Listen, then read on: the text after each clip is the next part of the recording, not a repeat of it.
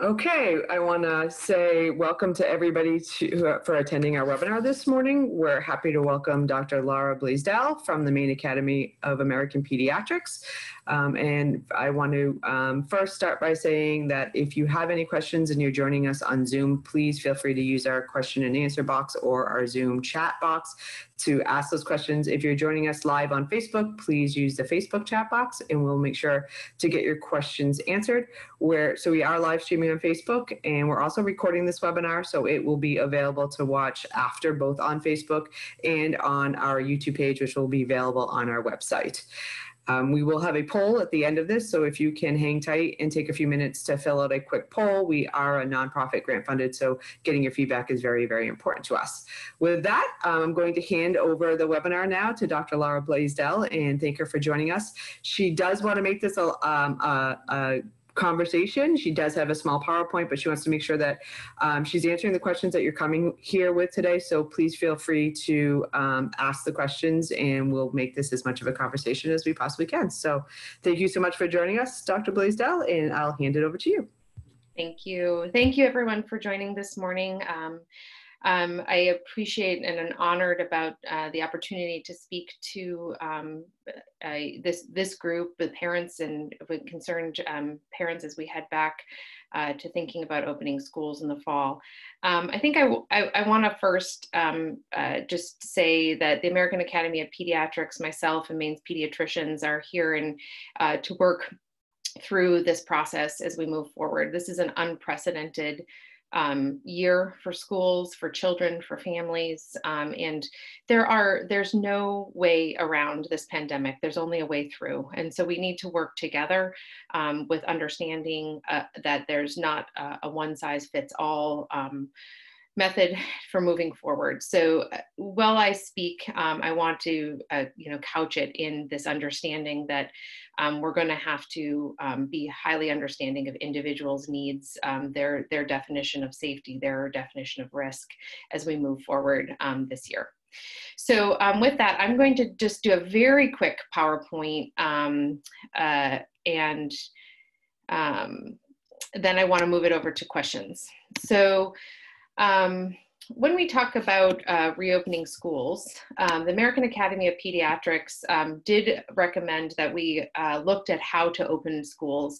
I think their um, their call was a call to arms, was to say let let's figure out um, how we can do this and if we can do this for kids safely in a way that um, maximizing maximizing safety learning and the well-being of teachers, children, and staff. Um, so there there are ways to do this. It's not impossible, um, but uh, the the AAP um, wants to make sure that we do it as safely as possible. I think it's important and, and probably not not necessary to say that this, this is a polarized topic. Um, that many people feel like there's no way that schools can open, um, and many people uh, feel like the school that um, uh, that children should remain in a distance learning model. Many people feel that schools should open, um, and all of these options contain risk all of them do. Um, there are risks for keeping children at home and away from the social emotional learning that they need to do at school. There are risks to children um, who don't have access to the services and needs that they um, need to, you know, to grow and, and to thrive. So all of these um, options contain risk, and I think that that's that's the crux of the debate: is which risks are we willing to tolerate um, in, uh, as we head through this this time where there's no right answers. Um, you know, we're continuing to learn. I think that's another uh, uh, conundrum about this pandemic is that we, while we learn um, uh, about things uh, in terms of how children and how others respond when they get COVID, how um, how public health interventions are either working or not working in various environments. Um, we're, we're, we're learning as we go along. I also, I mean, I don't think the um, the science by press release helps either. Um, you know, we we are trying as the academic and scientific communities to put forth data that is um, as true as it can be for the moment, but um, we find that, that that data is twisted in the political environment um, to support different agendas. Um, I think another challenging part of reopening schools is that the pandemic response has been driven at the state and local level and not at the federal level. So we don't see a lot of overarching guidance um, uh, at the federal level.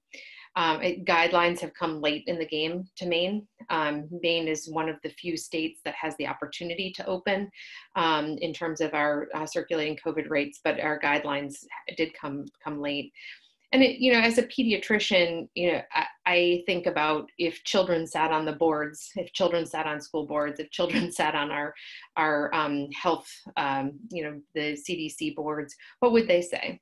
Um, what would they say about what they want in terms of returning to school um, what would they say in terms of um, whether we should open bars or schools? Um, you know, what what would they say? So I really try to think about um, being a voice for children um, when when I when I think about um, policy and and politics. so I think first of all, uh, I would like to just talk about that it takes a village you know, community transmission rates are allowing for this discussion about how schools open in Maine. There are other states that aren't having these discussions. I was telling Carrie before when I um, when we were talking that I'm working with some schools in LA who don't have the opportunity to have these discussions. So we've done a great job in Maine um, keeping our COVID rates low, and that's why we're having this discussion is that we can um, we all play a role in keeping these rates low. Um, if we decide to open up schools and have more in-person exposure, we need to realize that we can't open up everything and expect, expect rates to remain low.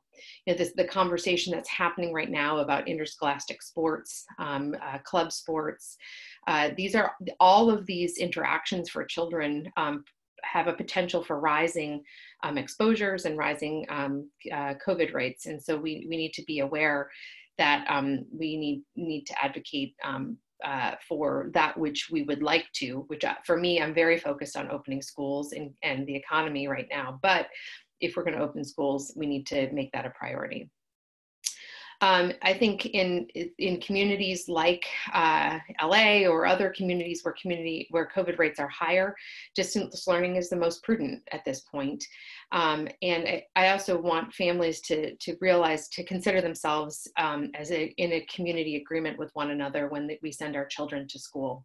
Um, you know, it, it means that you know for for me and my children who are going to in in person learning this fall um, I'm not going to go visit my father-in-law's 80th birthday, you know, in Boston. That's not going to happen. So um, we all have to make uh, the commitment to having a healthiest community um, as possible by altering our personal decisions this fall.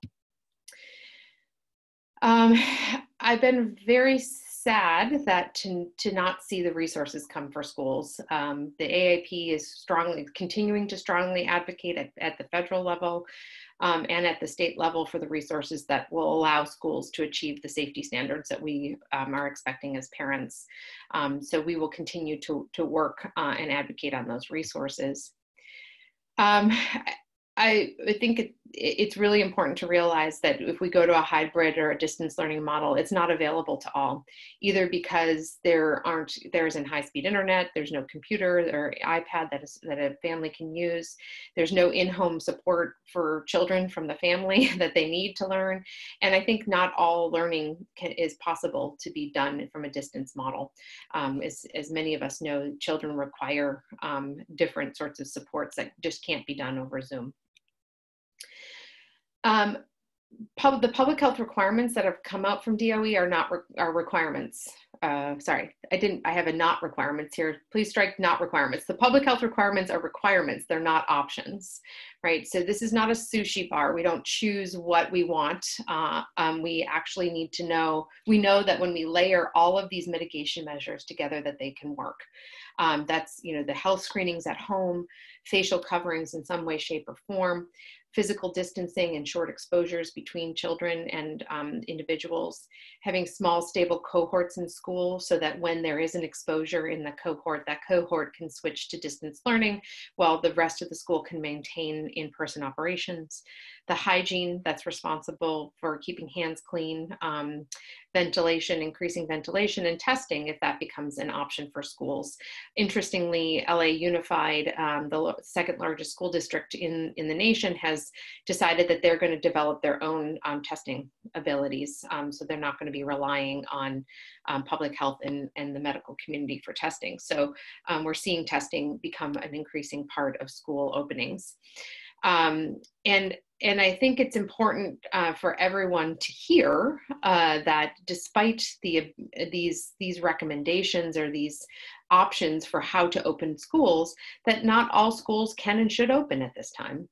Uh, not all schools can do all of these things, and in-person education, like similarly, is not appropriate for all individuals at this time. And I think that's where we we all find ourselves, right? Is are we the people that should are we the schools that should open? Are we the people that should be sending our kids um, to uh, in-person learning? And i think that's where a lot of the questions lie. And so uh, lastly you know, it's not a time for one size fits all, fits all and that's why i think i am here to speak with you guys today um, to talk a little bit about what are the what are the caveats um, just want people to know that Maine AAP is here. Um, we're a trusted partner and resources uh, resource for you. We are prepared to help schools and families um, as we move through this pandemic, and um, we're here um, for questions and concerns on our website. You can ask um, for any uh, the you know look at the resources that we have for parents and schools, and um, if there's anything that we can do in terms of supporting uh, families um, and schools at, at this time, we are here. Um, so I'm going to stop my screen share and Carrie, I'm going to ask you, um, what, uh, what are we hearing from the chat box? What do people want to want to talk about? Okay, so the first question I've got um, is, do you know anything about pot potential saliva test so testing could be universal? Um, so I think the question is about pooled um, pooled testing, perhaps. Um, so, so, there is saliva testing currently for individuals. Um, that uh, it, saliva is just another way to obtain a sample that doesn't require a swab. So um, we might have we might have heard about supply chain issues in terms of testing, um, and the swab is one of the supplies that we need to do testing. So there have been um, various individuals, the first came out of Rutgers, um, that have looked at saliva as an ability to obtain a sample without a swab. So we don't need to worry about that supply chain. Um, so the saliva tests are great. They look like they're functioning in the, in um, the same uh, you know, testing um, validity as, as the swabs. Um, the pooled testing might be what individuals are talking about. And that's where we use um, a sample from a handful of individuals, say five individuals, are tested on one test run. Um, and this is an attempt to move from testing symptomatic individuals, people with symptoms, to testing asymptomatic individuals, and that's the screening um, that we're that we're looking to do in you know the congregate and community settings. So um, those are coming out, um, and I think uh, you know that's the kind of every day we're learning something new. But I do I do um, feel hopeful that there there will be more cost effective and uh, screening opportunities coming soon. I don't I don't believe that it's going to be available um, before September, um, but um, I do believe that those things are coming out as people are trying to move back into these uh, into the school setting. Is the fidelity of the saliva testing as um, reliable as the fidelity of the nasal swab? Yes, actually, if we look at testing, um, some testing data from adults, um, it looks like it's actually better. Um, it's a larger sample, um, and so there, we're still running. So there are three types of tests now available on the market. There's the um, antibody test, so that, that's the immunity test, which we don't think play a role all that much in in um, in schools or in in it's a 50-50 test at this point. Um, there's the rapid test um, that is the one that comes back in 15 minutes, much like a rapid strep. Um, those tests are only to be used for individuals who are symptomatic. And then there's this PCR test. It's the nasal swab test. Um, and the PCR looks for the, the um, DNA uh, or the, the DNA component of the, the virus. It's actually RNA, but um, the genetic material of the virus. And the saliva test is, is, a, is that R, that genetic genetic material test, and it does look like it's performing quite well. Do you, as a pediatrician, feel like you have access to testing? So when a child is um, coming in with symptoms that, uh, I mean, I know it's been, it, the, the availability of testing has been up and down and up and down. I feel like it's been a little bit of a roller coaster ride right now. Where do you feel like the availability for testing is as, as a pediatrician in the state of Maine? Yes, I feel like we're at a point now where the testing is available um, for, for individuals. Now, the, I think the caveat to that is when do you get your test result back? So I can test almost anyone. Um, it's it's just that various labs have various turnaround times. The larger labs, Quest, LabCorp, you, there was a lot of press in the last couple of weeks when we saw that peak at the end of July, um, that they were just um, running out of, of sam- uh, time um, in, in the supply chain. So there was up to 10 days till we got a test back. Um, but now we're seeing those, um, those come back down and a lot of um, the physician's offices are are the either Maine Health or Northern Light or many of the um, healthcare systems in Maine have purchased their own testing capabilities. So we're seeing that that time to results uh, come down as well. Great. Um, can you speak a little bit about transmission of the virus from surfaces?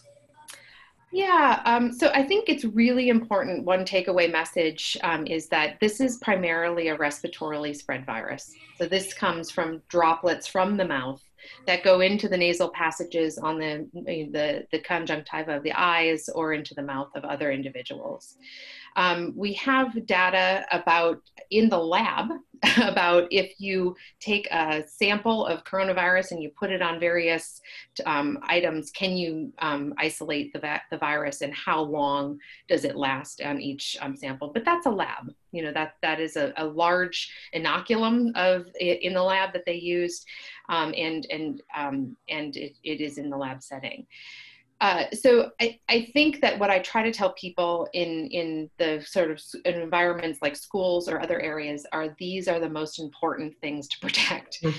If if a virus does survive on a surface, it only gets to your nasal passage or your kid's nasal passage if they touch things and then they inoculate themselves or they rub their eyes. So if we can do frequent hand washing, you know, Anthony Fauci, Dr. Fauci washes his hands 40 times a day. And that's what I'm, I'm encouraging my kids to do.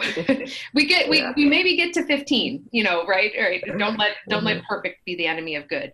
Um, but if we can protect our hands, then we can really um, worry less about the surfaces. So anytime I, um, yesterday I went out, uh, I got takeout you know, I, I, grabbed the bag, I put it in the car, I washed my hands, I drove my car, I grabbed the bag, I went into the house, I washed my hands, and I prepared dinner. So, uh, this sort of gel in, gel out idea of any sort of touching of surfaces is going to really help us. And we saw that in the camp setting this summer where we had a lot less communicable disease in general, um, just because of the increased Purell or, or hand washing. Yeah. Um, so for children and adolescents who have anxiety disorders, what are your recommendations for their care teams on how to support their transition into the school year? Um, I, I, the this is a, a, a, really critical issue this year. Um, I, I, the pediatricians are are trying to um, hook children into the services that they need to support them. Um, I think it did, yeah, on a, on a, uh, each child has their own individual anxieties and worries, but I would, I would try to um, speak to your primary care doctor if, if those worries are getting um, to a place of paralysis or affecting the, you know, daily, daily life of these children. But I think for the most part, um, I really have been trying to talk to children about just hearing them, hearing their fears. Um, you know, the the summer camp that my husband um, runs and I, I, I was the medical staff on, I found that kids didn't get a chance to have their voice heard, and once they heard had their their voice heard and and acknowledging their anxieties, that that kind of took it down a notch. But for those children who are who have you know clinically diagnosed anxiety disorders or um, issues like that, I would say to work with your call your your primary care doctor or their therapist or psychiatrist and create a plan of attack. There are lots of great resources out there for kids right now. And I would also encourage um, parents to work with your school districts if you have an anxiety disorder and you have an IEP and a 504 plan to really work that individualized program or 504 plan to meet the needs of your child. And I know most districts are offering a virtual, 100% virtual option um, for students in returning back. And while that might not always be available to students, I have heard that those students with anxiety disorders this spring actually did, were able to perform better because they didn't have the anxiety about being in a social setting with schools. Um, that that doesn't mean that should be the only option for you, but to explore those options and to always ask for what you need. I think the one thing we learned from the disability rights um, webinar we did on Monday of this week is you don't get what you don't ask for. Um, and so collect the data and bring them into your school district and work with your primary care physician or any other counselors or specialist doctors that you're working with to use them to write notes or get data from them as to what might be the best fit when asking for your school district. So now's the time to ask. Um, moving on to next question. There's a lot of talk about waiting for the vaccine for COVID, but are vaccines being tested on children or just healthy adults? Does that mean when a vaccine does come out for COVID, it won't have been tested on children, and will we be, will we be providing it to children? Great questions. So, um, you know, this this year has seen uh, an unprecedented number of vaccines being developed with an unprecedented number of scientific expertise. Typically. we have one group that's developing a vaccine and it takes you know five to ten years to develop we have 70 uh, groups who have put forth an effort to develop vaccines. Um, we now have a good handful seven to ten i would say that have looked promising um, as they come out of the phase one to phase two trials. Phase one trials are the ones where we um, look to see if the vaccine actually works can actually generate immune response. Phase two trials are those trials where we look to see what dose is most effective because we never want to give more than we need. Um, so those phase two trials are the ones that have been happening over the course of the summer and into the fall. And several vaccines have made it out of those trials into phase three trials. Phase three trials are where we give the vaccine to healthy volunteers and look to make sure that the vaccine does what we thought it would do and doesn't do anything that we, we hoped it wouldn't do. Um, so we're heading into phase three trials now, and we're getting, um, I, I'm really looking forward to the data from phase three trials. It's hard for me as a scientist and a pediatrician to say anything about any vaccine until I've seen robust phase three data. Um, uh, whenever we use vaccines in various age groups, we test them in those age groups. So these, these vaccines will be tested in any individual that they're indicated for. Um, and um, so yes, when it does comes out, come out, it will be tested um, in both healthy adults and healthy children volunteers.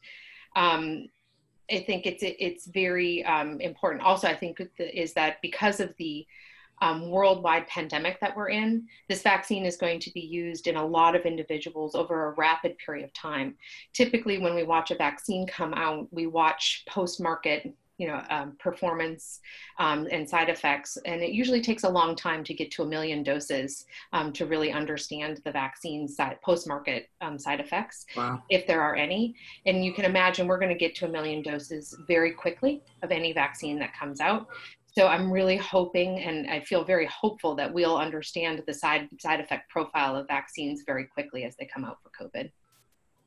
Great, thank you. Um, the cases that Dr. Shah reports on on a daily basis, are the numbers he's reporting all labs or just the state-funded labs? They're all labs. So um, because okay. uh, COVID is a, a, mandatory reported disease, any lab that pre- prevent um, has a positive in Maine or anywhere in the U.S., for instance, um, you know, if you had a positive uh, if you went to the Outer Banks and then test were tested there and had a positive, but you resided in Maine, that positive test would come mm-hmm. back and it would be reported by Dr. Shah.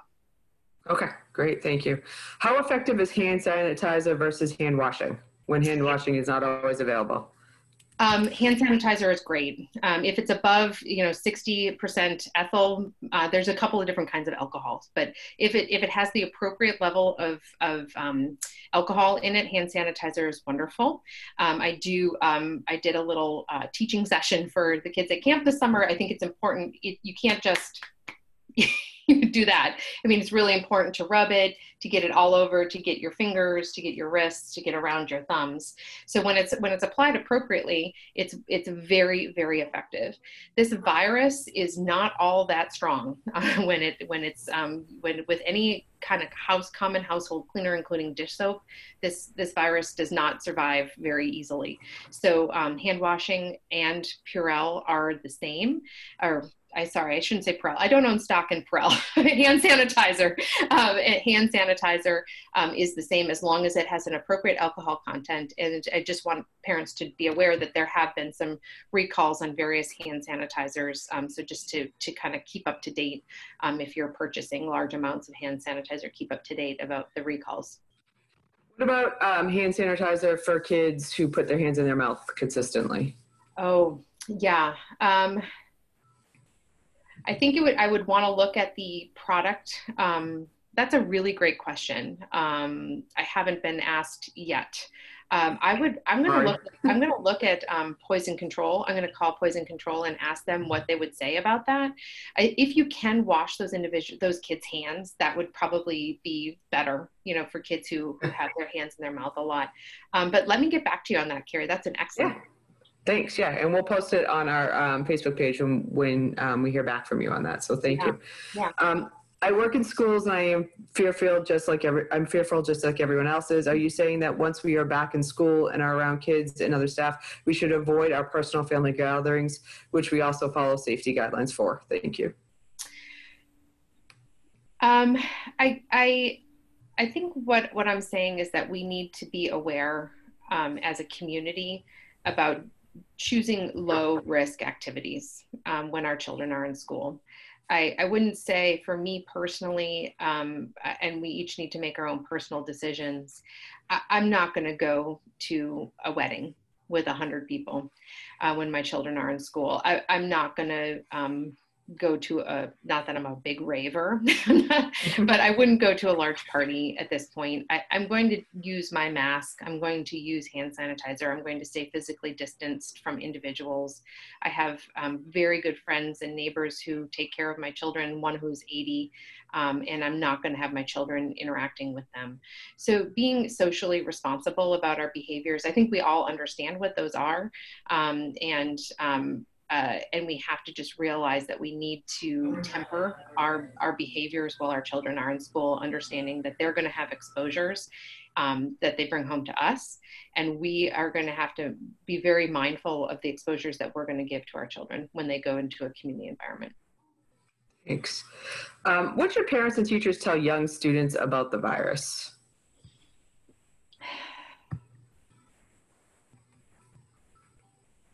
Um, so I would say I would say these are school age children, right? So you know. Yeah. I mean, it's going to be pre-K, right? I mean, pre-K through 12. So every, you know, you, yeah. you have different conversations with different age groups. Yeah. Um, and I think so, the hardest the hardest probably is the youngest group is that you know we're trying to what do we say to a five year old you know who says mm. what's going on? What is this virus? You know and, and i think you know being very concrete and and not um, and letting the child de, um, the child direct the conversation i think is probably what i would uh, say is is that you know i find that oftentimes kids who are five or six they're asking a question. We oh, we put an emotional overlay on the question that they're asking us and try to answer it from an adult perspective. When honestly they're just asking if i wash my hands will i be safe you so um, and so you can answer the question that they're a- asking you. And um, you know and i think it's i think it's appropriate to let kids at that age know that that there are a lot of adults who are who are paying attention to, to work to keep them safe. Um, and and so i guess i would uh, i would follow the kids questions. Um, healthychildren.com has a lot of resources about talking to children at different age groups. So that's the american academy of pediatrics um, parent um, education site healthychildren.com and uh, so i would direct people there for for more specific guidance about um, how to approach children um, and every child's different right some children my I have kids who are like, whatever, mom. Just tell me what I where I'm going today. And then there are kids who are who have many more worries and questions. Yeah, um, I would say for our own family, um, my daughter, who's 13 and has Down syndrome, but has um, higher anxieties, um, which have really shown themselves as she's actually approached the age of puberty. Um, so there's a lot of hormonal imbalances there. Um, and when talking with her, it's um, you know when she asks a question, it will be it's because of the virus. It's to keep you healthy. And trying to understand what her level of understanding is going to be without increasing her anxieties about going back to school. Um, and then letting her know that mom and dad are the adults and we're we're watching and worrying about what we need to to try to keep her safe um, and then, you know, my 15 year old son, who's a sophomore um, in high school, it's a much different conversation because it's a much higher level eh, of understanding and learning. But the other thing we try to do is keep the news to a minimum level in our house. Like we try to. Thank you. I was going to say that. yeah, yeah, yeah. I think the media that we bring into our house can really affect our children in ways that we don't um, we don't even realize. Um, I right. realize that I was this past spring. I don't know about you, Gary, but I was watching a lot of NewsHour, and my children were starting to become more anxious, and so I decided that I would watch that at night after they went yeah. to sleep. Yeah, they pick up and, and understand. We, we were having the conversation earlier that that we don't oftentimes give them enough credit for understanding. So mm-hmm. um, I think it's great advice to ask or answer the direct question that they're asking, and a lot of times we might embellish, and that's not what they need or want. Um, is the AAP working with CDC to make recommendations when a student or staff does test positive? Our district doesn't have a clear plan except to follow CDC guidelines. Yeah, the, the American Academy Maine AAP has been working closely with CDC um, uh, to to um, and, and, school physicians and school nurses um, to talk about the guidelines that schools need. Um, and so we've been meeting uh, weekly for the last uh, three or four months. Um, and so yes, the answer is yes. And if there are decision trees that parents are finding that they, they don't have, please do let myself or Dr. Hagler, who's the president of the Maine AAP, know, we can try to um, uh, get those answers. So we're, you know, we are developing new communication lines um, and this is this the reopening of school um, is a communication between the cdc um, the schools and the primary care providers and parents. So there's there are all of these various communication lines that we need to recreate or, or create. And so um, if there is a case in a school, we are working on how does that go up in communication to the CDC, and then how does the CDC communicate that down to schools and parents, and what's the role of the pediatrician or the, the care provider in that. So we're working on that now and and um, with with the CDC closely. Great. Um, primary care doctors have suggested they are not going to write letters related to not wearing a mask due to their disability. What would you suggest in that situation? Um, so um, I think there's a there's a couple of comments I'd like to make about that. First of all, um, is that you know not all kids are the same, so um, we're going to have to take this on a case by case basis uh, I have found that um, kids are incredibly capable um, in, and that many kids who I thought couldn't do something actually ended up doing it. So and we had a lot of kids at camp who were, you know, um, normally developing children who who were very anxious about wearing masks and they ended up being quite fine doing it. I also do realize that there are children who won't wear masks who can't wear masks and it's not going to happen. So i, I uh, carrie and i spoke a little bit about this before um, and I, I think the best recommendations are to if your if your child is a child who has various care givers in in terms of um, you have you know genetics or um, cardiology in addition to your pediat- pediatrician you know having a conversation with each of them about what what your child um, should and can be able to do in school I think it's also important to have a conversation with the school and say in in saying, okay, what what are the various options that that we can put into place um, for my child? What pediatricians are finding is that um, many individuals are approaching us saying my child just can't wear a mask. And there there isn't any developmental or behavioral or medical reason that that child cannot. It's a normally developing individual. And so we're trying to say to families let, let's do some mask desensitization. Let's practice. Let's make it normal. Let's make it fun. Let's try all those things. And if those things fail let, let's have another conversation um, I think additionally advocating with the school and partnering with the school in terms of you know what you feel like your child um, should have in terms of options. Carrie was talking a little bit about the options that she's put forth for her children, um, masking being one, but then having an opportunity to wear a face shield if the masking um, becomes untenable at any point in during the, the school day.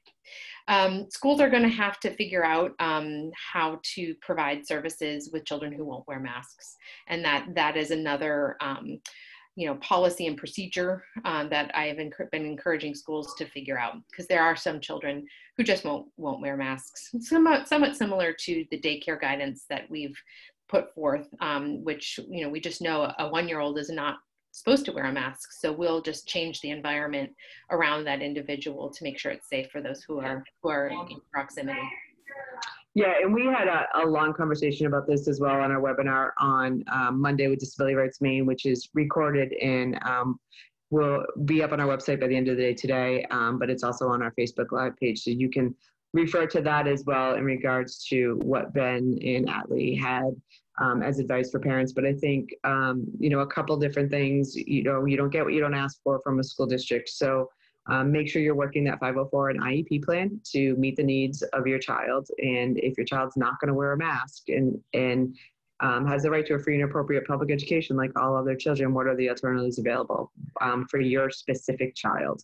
And then, um, like Dr. Laura said, work with all of your doctors. Um, a lot of our children have many different doctors because of their special needs. So the primary care physician might actually not be the best fit to get the letter from because they might not be able to speak to the specific behaviors your child is experiencing. So um, look to um, the available doctors, whether they be behavior doctors that you're working with, genetic specialists, cardiologists, so on and so forth. Um, the primary care physician is not the only road to go down to get a letter. Um, what do you know about how long a person maintains antibodies after having the infection? Um, I'm going to get to that in just a minute. Um, Timothy Sear asked a question about as a therapist. I think it's a, a great follow-up question to the, the question we just had about so if you're providing that close hand over hand physical guidance um, in therapy sessions, I think mm. the, the, if you look at the DOE guidance, we're, we're really thinking those individuals should be maximally protected. Um, the PPE that we use in, in the medical field um, and or in the dentist field uh, is the type of PPE that we would be thinking about for people who um, say a child couldn't wear a mask and you needed to provide mm. therapy to that individual. I would ask you to protect yourself with a surgical mask and a, a face covering and eye, eye, you know, either goggles or a face shield. Um, and then, you know, gloves aren't necessary as long as we wash our hands before and after we're touching an individual. So maximal protection for those, those individuals. So in terms of antibodies, um, you know, we are learning uh, a lot more about antibodies. You know, the this um, this disease has been you know in circulation probably since last November, um, and so we don't even have a year's worth of data. And us uh, scientific people are folks who will only tell you the data if we have it. so, so um, I, I think we can say that you know it looks like people are developing a normal immune response to coronavirus, and we have about nine months, eight months of data to tell you that their antibodies are seemingly keeping them safe for the for these eight months that we've known this disease. Um, it's it's good news that we're seeing the, the normal immune response um, because we would hope that um, the normal immune response that we all make to viruses um, will keep us keep us safe. Certainly in in the short term, we know that antibodies do wane over the lifetime of a person. But um, stay tuned. Every month we know a little bit more about how yeah. long those antibodies last. This is true. Um, what would you recommend for mask at, at school? How many and for how long? Yeah, so mask breaks is something that we've we've um, we've talked about, and and whether or not we need to call it a mask break. Um, you know that's that's assuming that we all just need a break from our masks and they're just so impossible to wear all the time that we need a break I like to think about schools developing an environment where kids don't have to wear masks all the time. And, and that, that means that when you're on the playground six feet away from other individuals, why don't you take off your mask and have a good time? Um, when we're eating, we can't wear masks. So let's create an environment where we can take off our masks and have a meal and be safe and physically distanced from other individuals. So I don't believe that there is a concept of a mask break. Um, I think that there's a concept of designing a day so that we're not just putting kids in masks and leaving them there. As as that's what I worry about. I worry about um, us not paying attention to the fact that we've put a child with a mask and they're sitting there compliantly with their mask on under their culture of compliance, and we're not thinking, oh, do you really need to have your mask on right now? So um, that that is what I'm encouraging um, in terms for educators and, and school administrators and school nurses is to think about times when children don't have to wear masks throughout the day.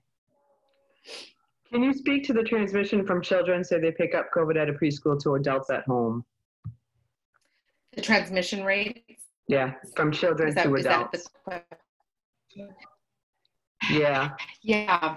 So um, the the we're we're learning more and more um, as we go along. So initially, so, uh, there was research that showed that um, that it didn't look like children were good transmitters of the virus to adults. It looked like when we when we modeled, you know, in in some of the data that was coming out of China, when we modeled. Um, uh, that children should have had more exposures and should have been infecting more individuals than than they did.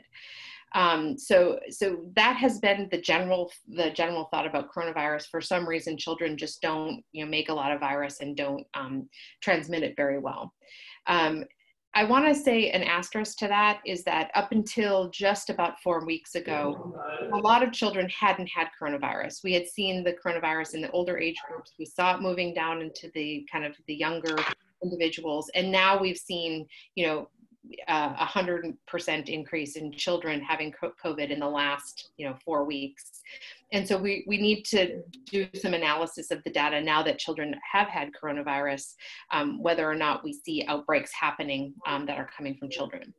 One thing that's um, uh, reassuring to me is that you know a lot of daycares have been open as essential um, businesses and essential services, and you one would expect the daycare outbreaks to be a lot higher um, if it were the children um, that were transmitting the virus. Um, and when we've looked at several of the daycare outbreaks, it looks like it's the adults passing the virus to the children.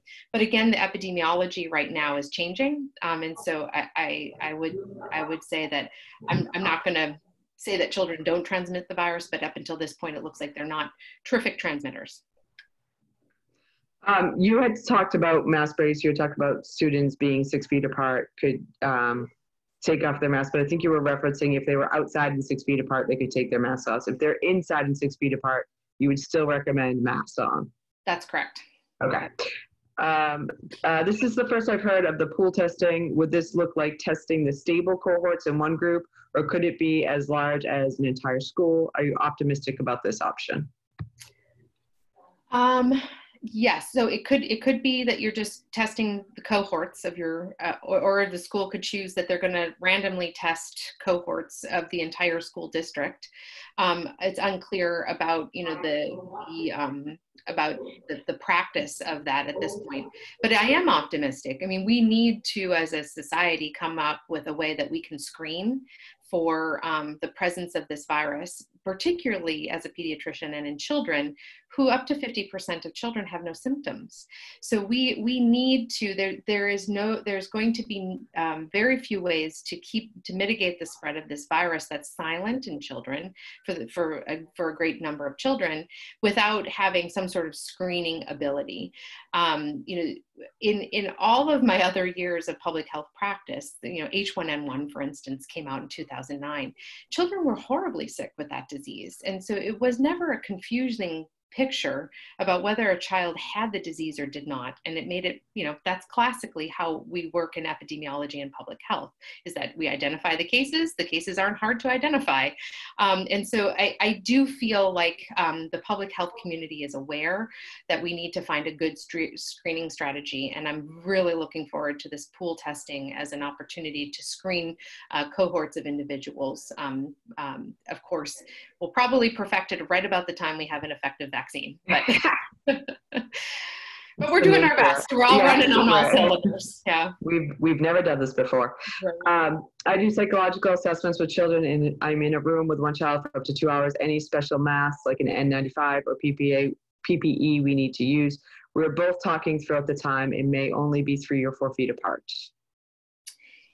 Yeah. So um, I think up until this point, we've been um, reticent to recommend uh, N95s for individuals outside the medical setting um, because, for a couple of reasons. One, they have been um, extremely limited, um, but they've been difficult to obtain. Um, uh, and we needed them for our healthcare providers who are in the rooms with positive COVID um, individuals. Um, and also, in order to properly use an N95, you need to be fit tested. It has to be fit to your face, and you have to go through this process of fit testing. Um, I, I, I, think that we're going to see a, as supplies stabilize and uh, that we will be recommending uh, N95s for those closer individuals in the future. At this at this time, um, you know, I you know when I see patients, any patient, I'm wearing a surgical mask and eye coverings, and so at this point, that is what we're recommending for people outside the medical community who are not dealing with COVID positive individuals. Is there possibly a difference in transmission by children depending on age, younger versus older?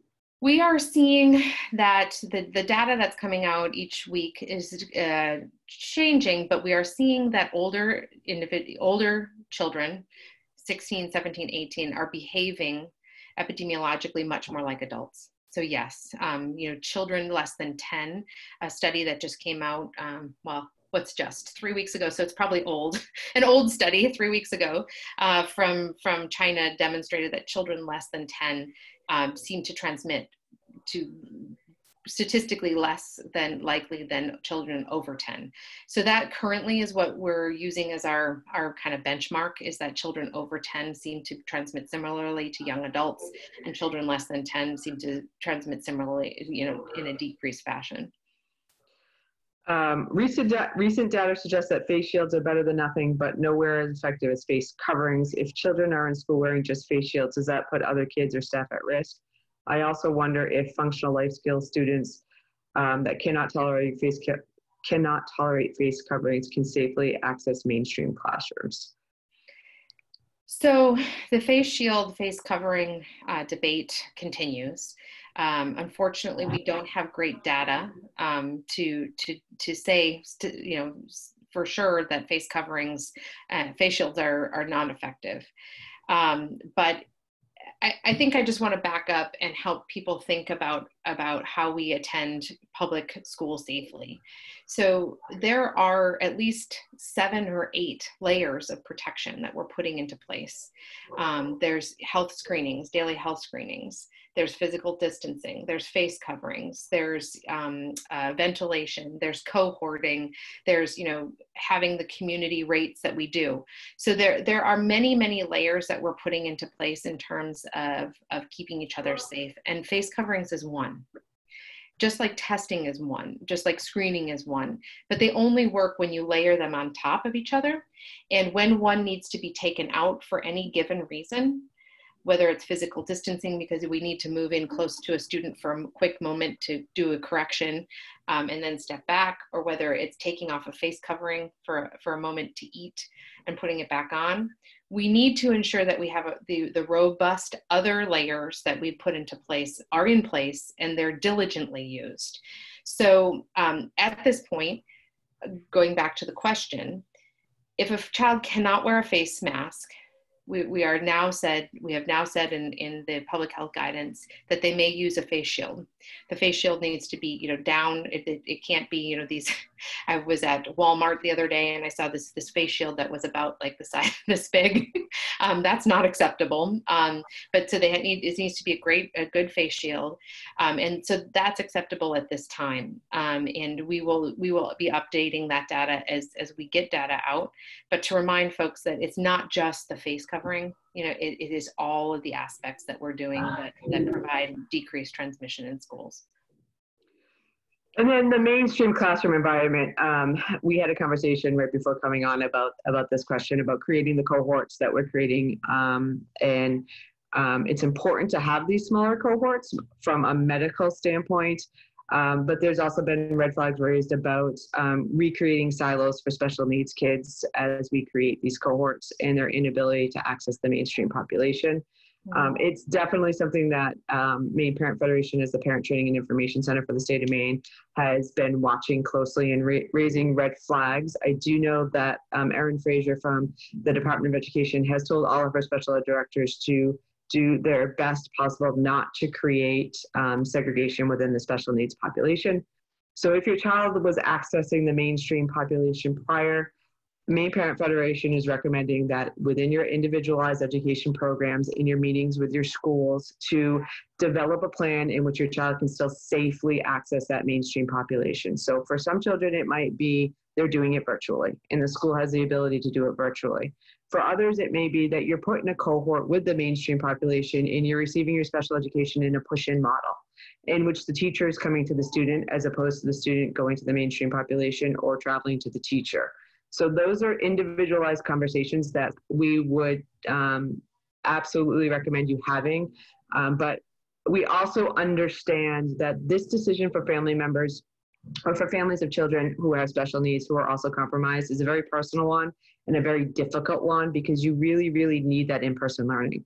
I, as a parent myself, I understand how much more precious that in-person learning is versus the virtual learning, but you're really concerned about exposing your children so it's a very individualized decision. And if you decide to put your children in a cohort that is going to be mainly with special needs kids so that your child can get that in person learning and you feel that that's the better option, that is absolutely your decision. We respect that. We just want to make you aware of the fact that when you when this emergency is over at some point in time and you want to go back to getting access to that mainstream population what ends up happening is that silo has become your child's least restrictive environment and it might be difficult to get that change of placement back into the mainstream population. So in making that decision for your child just make sure that you have all the information and, and you take it all into, into account.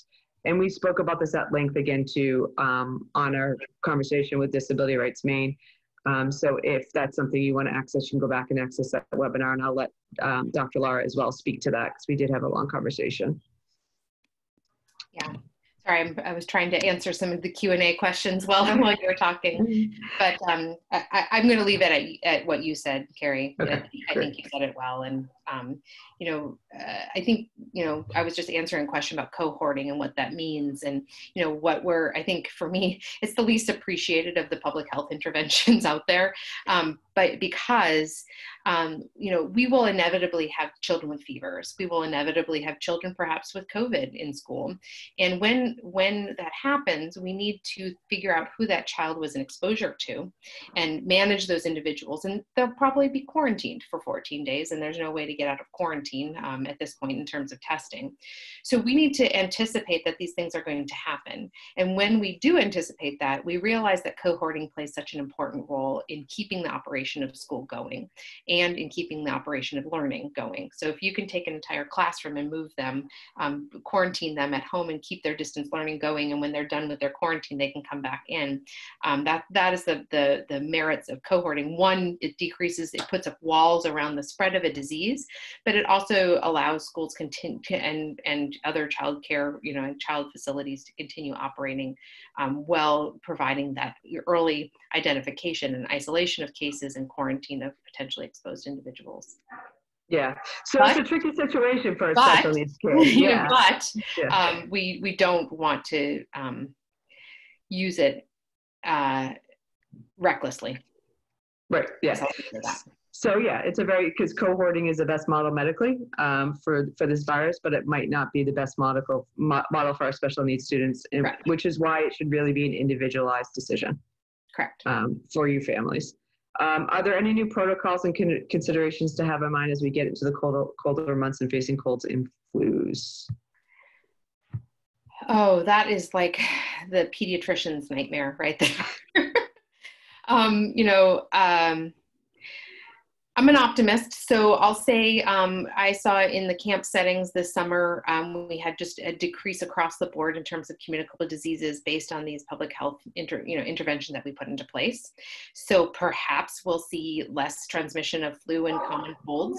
Um, but I know that as a pediatrician, I'm uh, and we know as pediatricians that we are going to be treating everything like it's COVID unless we unless proven otherwise. So you will see a lot more testing um, this this uh, winter as we head into the cough and cold season. Um, coronavirus has proven in children to be the great mimicker. It can be a runny nose, it can be a sore throat.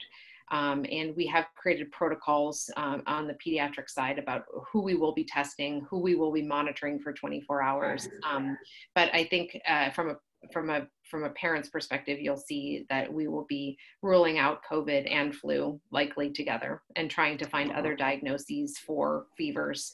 Um, and hopefully, you know, it's never been positive to have strep throat, but maybe that this will be the year that if you have strep throat, it's a good thing. You know, it's a good cause for your fever.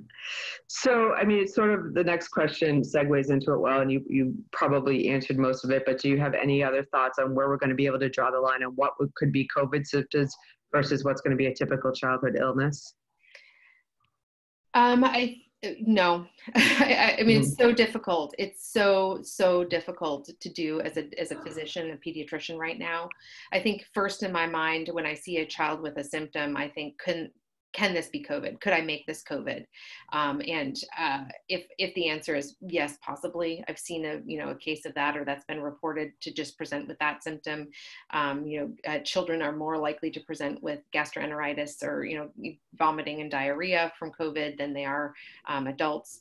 Um, we're just treating that and testing and making sure um, that it's not coronavirus. If, you know, for instance, I had a kid this summer who um, had um, classic UTI symptoms, right? He was going to the bathroom frequently and had a fever. I was never so happy to see a positive urine culture in my life. And I did not, I did test him for coronavirus just to be sure, um, but was happy to put him on antibiotics and, and watch him get better. So I'm going to sort of combine two mask questions. Um, one is, so the first part of it is, if I'm using a disposable mask and I'm a therapist, so I'm working closely with students, how often should I change that mask, student to student or daily? And then are masks with filters better than masks without filters? Does it make a difference? Um, so, uh, you know, at, at medical facilities, we're given, we're, we're using one mask a day. So I'll use one mask for the entire day and throw it away at home, um, just and wash my hands after I take it off. Um, the filtered masks, um, I, I, don't, there's so many different kinds of masks right now. I, I, don't know exactly what the filtered mask is, but we're not, uh, I haven't seen any data that shows that the, a filter in the mask is better than any other mask. I think mostly it's, it's the tight fitting nature of the mask. You know, masks shouldn't be easy to breathe through. Um, and and uh, the, the gaiter data that came out from Duke, mm uh, if you hold the you know if you hold the mask up and you can see light through it it's not it's not good. Um, so um, I, I, don't think that the filters are probably any better than you know kind of the classic masks at this point but again we're still waiting for good data on all the various types of masking. I also saw a good test um, i think it was on the today show this morning um, in regards to if you can blow out a candle with your mask on then it's not a good mask like set like that's that's another good test like the, that's a good candle. I like the yeah. candle test. I might steal yeah. that from you gary. Yeah. It was i got it. I'll give the today show credit for that one. Okay okay. Um, how would covid-19 affect the vaccination laws in schools that was recently passed in maine? No relation at this point um, I will say I did see on a website this morning that Massachusetts is requiring for in-person learning all their kids to have flu vaccinations. So that's happening in Massachusetts. There's been nothing here in Maine that um, has been spoken about, but um, that might be where that question is coming from. I don't think it would affect the vaccination law per se, but Massachusetts is now saying that their kids to attend in person have to have the flu vaccine as well. Yeah. So that's just something to watch for nationally. Um, to, be clear, the flu vaccine is not required. Um, right, not here in Maine. No, right, nope.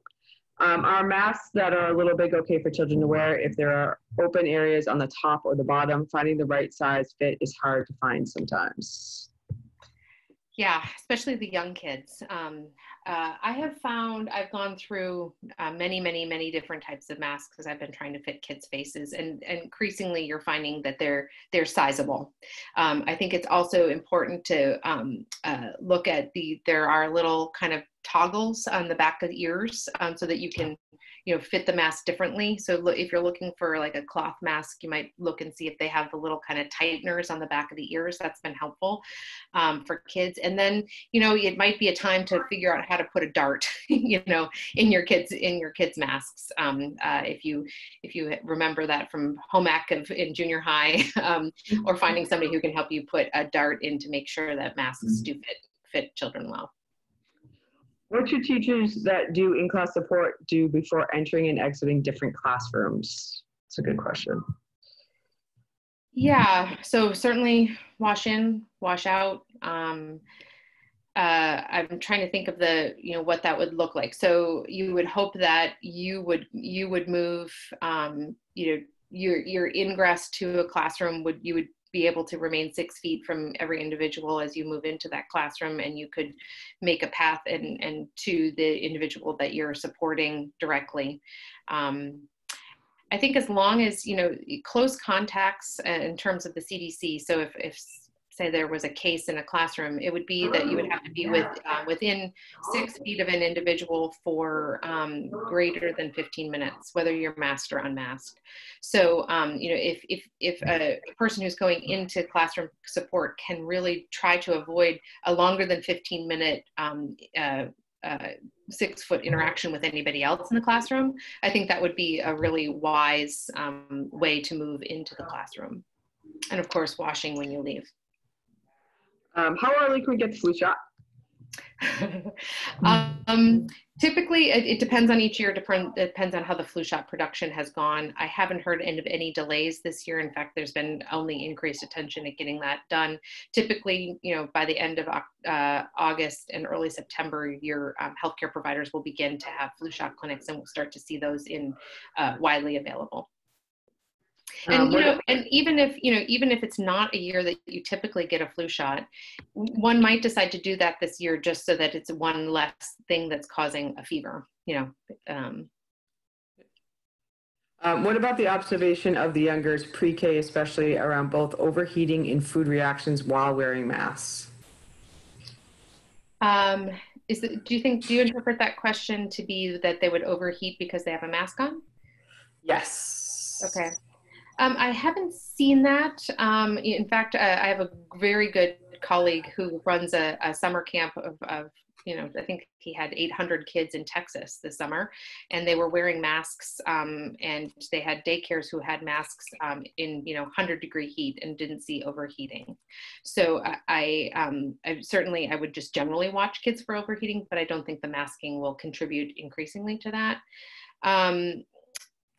Food inner, you know, food allergies. Hopefully, we know. Um, I guess I get maybe the question is whether you couldn't see oral swelling um, with a mask. Yeah, I mean, it, I haven't seen any clarity, but um, that or extended exposure to a food, maybe because you you've got the mask on and i think i think while I, my understanding of what's happening is during eating time and snacks kids are going to be separated um, taking the mask off eating cleaning up and then putting the mask back on the mask Correct. isn't going to be pulled up or down during eating time eating time is going to be a time with no mask Correct. and then they, they all will need to properly wash prior to putting their mask back on and going back to their academic instruction. That is my understanding of how meals and snack times are going to work in school. Uh, do you have any recommendations for PPE for escorts and therapeutic holds beyond what safety care recommends? Um, I will say that Maine DOE did put out guidance, um, specific guidance and related to COVID-19 around um, restraint seclusion as well as toilet training during this pandemic. Um, I will try to find that and post it in the chat box um, prior to um, the webinar ending. Um, if I'm not able to do that, we will repost it on our Facebook page as well. Um, but there is specific guidance around restraint and seclusion and toilet training that came out of MDOE. Um, where do we draw the line on excluding children from school with common symptoms such as allergy symptoms and diarrhea when those could be COVID symptoms as well? Yep, we're um, we're working actively with the school nurses, um, the pediatrics, uh, the, American Academy of Pediatrics, and school nurses are working, um, and we we have currently have a decision tree um, but you know, if if symptoms, uh, if say a school nurse sees you know allergy symptoms, might ask the family to get the child evaluated. Um, if the physician determines that there's a there's an ulterior diagnosis that is plausible um, for the symptoms, that that the the pediatrician will be writing a note for the family. Um, uh, and I think it's it's just a it again we're we just please know that as as pediatricians we are aware that we are going to be over testing um, for lots of symptoms, but we are also um, quite experienced in knowing if it walks like a duck, it quacks like a duck, it's probably a duck, uh, and we're, we don't necessarily need to treat. Um, um, every cough uh, or every runny nose as if it's COVID, but we will be thinking about that when we make our diagnosis. Uh, what are the most common symptoms, if symptomatic, that children are presenting with COVID? Um, kids kids present with less fever. They present more. We've seen more kind of cough, uh, runny nose, and sore throat. And the and as I said before, the the gastroenteritis, kind of the nausea, vomiting, has been a, a bigger component of COVID for for younger kids. But again, a, a vast majority of them have been um, mildly or asymptomatic. I will say, just sort of um, doubling back to the last question, we we had um, I can't remember what meeting I was on or attending, but there was questions about like a child who has just a, a constant dry cough because they have asthma, and being assumed to be COVID because they have a cough. And I would say what you need to do is is make sure that if your child has um, allergies or a constant cough or chronic cough or other reasons to be communicating that to your school so that they're not um, assuming that that's um, you know whether it be the school nurse or the teacher but they're not assuming that's a covid system, covid symptom um, but i would say that schools are going to be overly conscious especially at the beginning Right. And and if your child has asthma or allergies, this is a time to be very good on their control. So if you, you know, in, in other years, if you've used a controller med to help control their asthma, well, then this is definitely a year to use a controller med for their asthma. For me, as somebody with allergies, uh, this is the year where I'm on Zyrtec and Flonase, um, just to make sure that I know that, you know, kind of that runny nose or itchy eyes or sore throat is treatable with those um, allergy treatments as opposed to being COVID. And I did just find the guidance on restraint, seclusion, and toileting from MDOE, so I just posted that in the chat box. Um, do you know if schools can demand that teachers or students can only return to school after having the COVID test?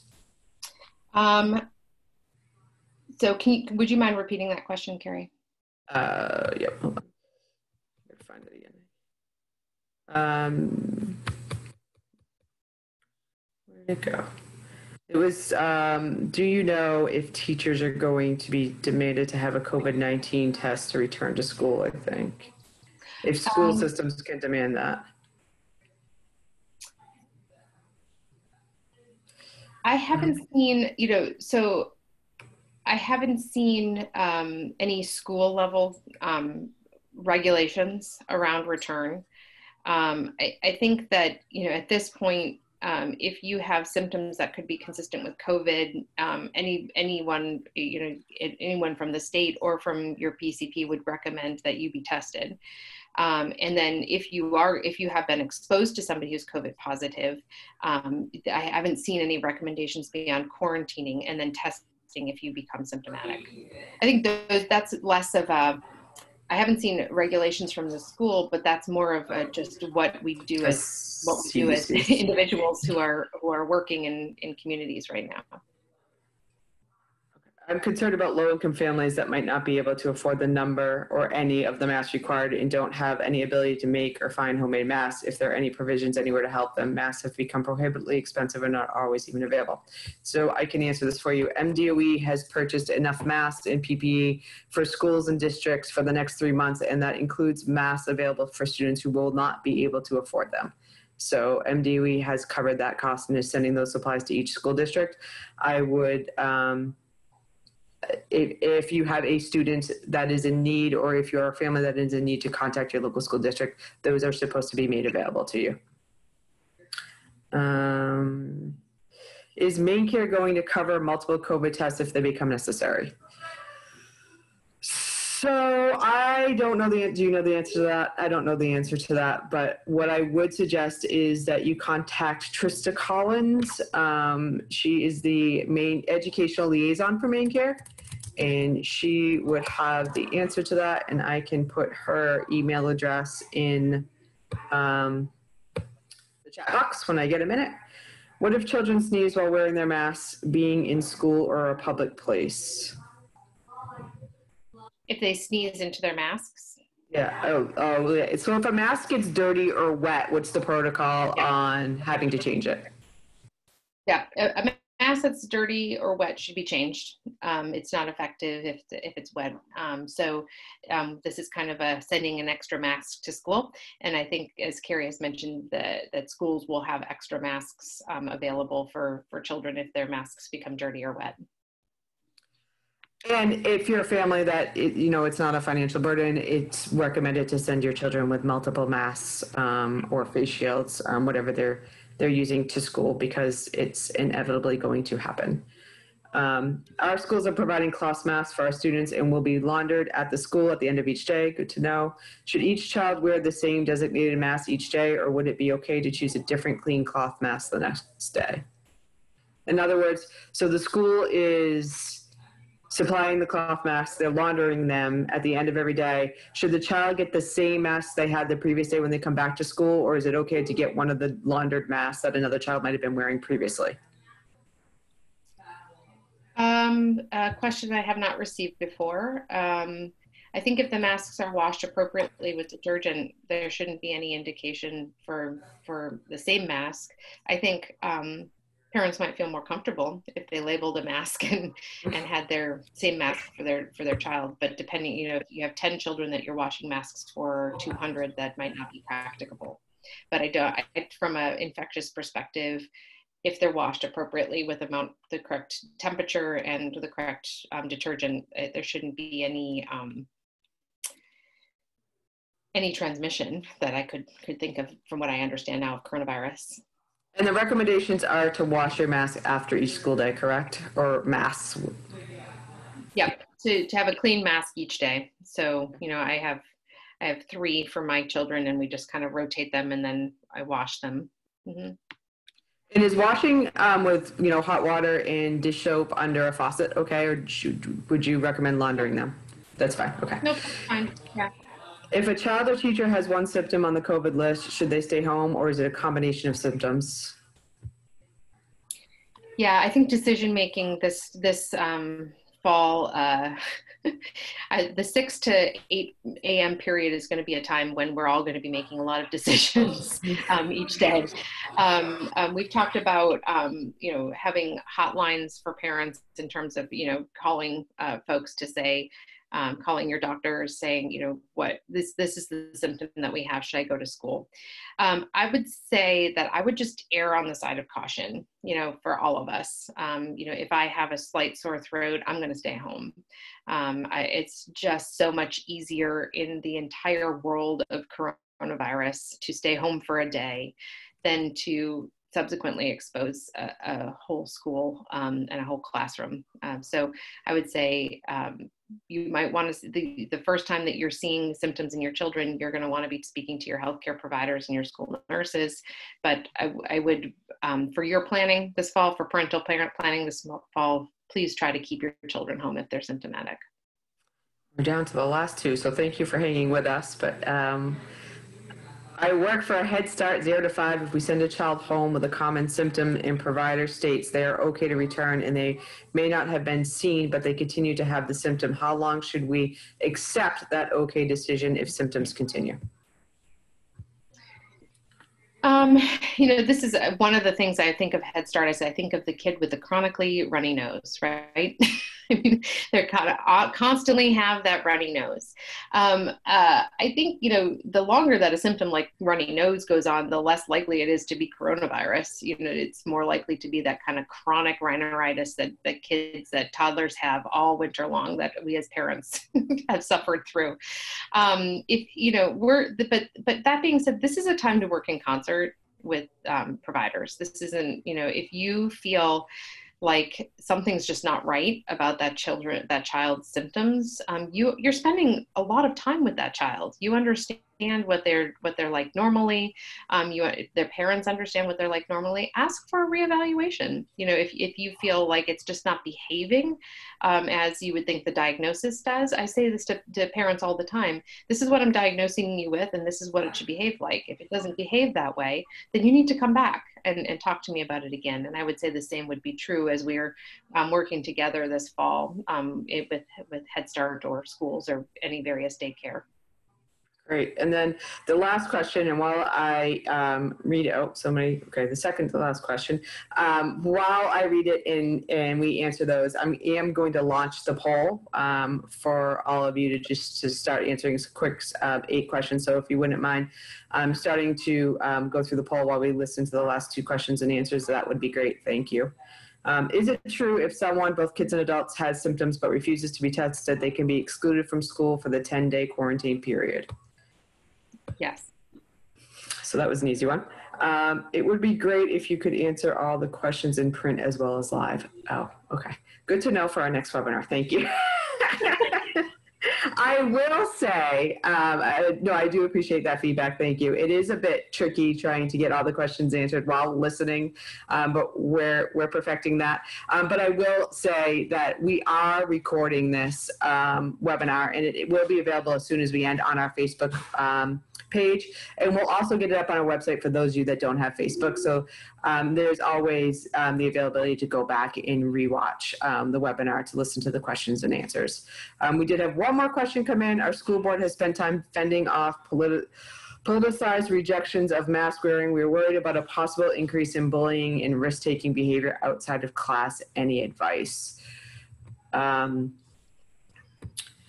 I I mean, I would say you would treat bullying behavior around masks no different than you would treat bullying behavior in school on a regular basis. Um, it's you know, I think one of the best um, examples I've heard is we have dress codes in schools. We tell children that you know what's appropriate to wear in schools, and right now masks are appropriate to wear in schools. And so, if you're getting pushback with, um, as a school board um, from you know uh, specific family members, then I would encourage your leadership to engage those family members on a one-on-one basis to make sure that we understand that this is the safety for all of our kids, and it's important that our schools are able to educate our kids and everybody has a right to a free and appropriate public education. And that means that we all have the right to be safe um, and whether it be safe from illness because we're wearing a mask or safe from bullying, all those things fall under the same protocol. And you're not going to treat bullying any differently um, around mask wearing than you would treat around any other um, situation um, in which a bullying circumstance would arise. Um, that would be my advice. I do understand it's very, very, very tricky for school boards and school leadership right now. Um, I think I say this at the end of every COVID 19 webinar. We have never done this before. This is the first time any of us have ever done this. As frustrating as it is to hear the I don't knows, there really are still a lot of I don't knows. And as a parent, I understand how frustrating it is. I also have a husband who's a teacher, so I understand how frustrating it is for schools to um, try to be putting all these plans in place and um, taking on the risk of educating our students while keeping them safe.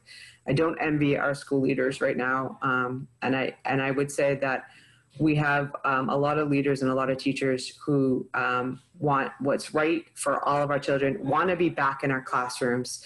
Um, that's what they do. That's what they love to do. Um, but they want our kids to be safe too. So, as frustrating as this time is for our families and our parents, um, eh, I would engage you in being patient. I would engage you in making sure that you're getting your individual needs met by asking your school leadership and working up your chain of command within your school to get your individualized needs met and make the best choice for your family to keep your child educated and safe. And I don't have, oh, well, we had one more question probably. Is the PM 2.5 filter in mass effective? I am not sure about that particular mask, so I would have to look that up, and I would be happy to do that and look that up. Great. So we do have a couple of questions um, that Dr. Blaisdell has agreed to look up, and we will post the answers on our Facebook page um, of those two questions. Um, one was the um, poison control around hand sanitizer for kids who have um, their hands in their mouth, and the other one was around the 2.5 filter for masks. So with that, I think we have successfully answered all the questions. I want to um, thank Dr. Blaisdell for her generous time this morning and um, the Maine uh, Academy of American Pediatrics who have been in constant contact with me during this summer and engaging Family Voice. They really want to hear from families. Um, they work with us directly. They've been in contact with me on a regular basis, um, and I've um, learned a lot from them, and I have been humbled by what they're having to deal with as well. So, um, thank you to them, and, and thank you, Dr. Blaisdell, for spending time with us this morning. I really appreciate it. I know you're extremely busy. So, from all of our families, thank you so much. Thank And- you. I'm happy to be here. So with that, we'll end the webinar. Again, um, this webinar will be available live on our Facebook page as well as on our um, website um, by the end of the week, the Facebook page by tomorrow, or actually by the end of this webinar. Um, thank you all for joining us. I really appreciate um, you spending the time with us this morning. And please know that Maine Parent Federation is always available to you. So um, any questions or concerns, you can feel free to email or give us a call. Um, I'll put my email address in the chat real quick. And um, again, thank you so much for joining us and have a great day.